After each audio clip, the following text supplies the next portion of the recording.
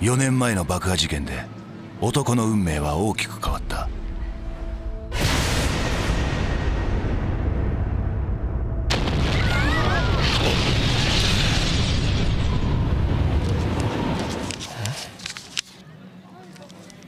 この間。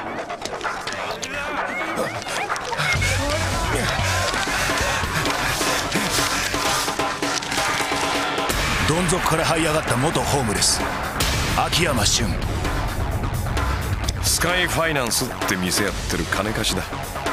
久々に本気の喧嘩が楽しめそうだ。何もんね若き極道は命を捨てる覚悟で挑んだ。25年前の襲撃事件。どういうことや。上野清和会が生き残っとるやと。それに上野は今じゃ登場界の親戚だ。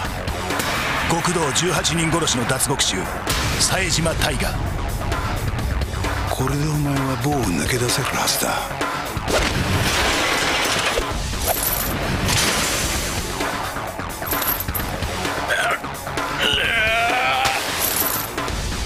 その刑事はただ一つの事件にこだわり続けていた。俺の親父を殺したのもお前なのか？さあどうだか。おい答えろ！父の死の真相を追い求める刑事谷村正義。おい谷村。親父さんの二の舞になるぞ。ご忠告どうも。あんたは親父を殺したのか？そして。ライトライトすみませんある日突然謎の女が現れる。事件の鍵を握る女リリー。現金で1億円私に融資していただけませんでしょうか？リリは柴田組に追われていた。柴田組が。お金は必ず返しますだから教えたくないってことか。今あそこに上野の奴らが来てんだよ。でもただ飲んでるだけなんですよね。バカかお前は。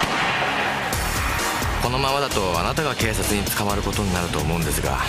そして戦う宿命を背負った男桐生一馬。どうしても復讐をするっていうならその訳を教えてくれ。拳で交わした熱き信念はやがて桐生をカムロ町へと導く。俺はあの女を守る必要があるんだ。動き出す事件。深まる謎。これ以上俺ら警察の邪魔しないでくれそれは警察組織をも巻き込んでいく。極道としてのメンツの問題なんですよ。桂木極道組織というのは社会の必要悪だと思っているんですよ。男たちがたどり着く真実とは？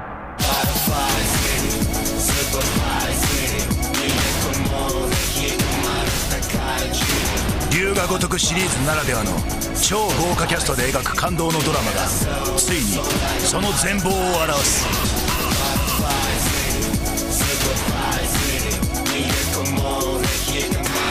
強き男たちが生み出す奇跡。その激しい生き様から目を離すな。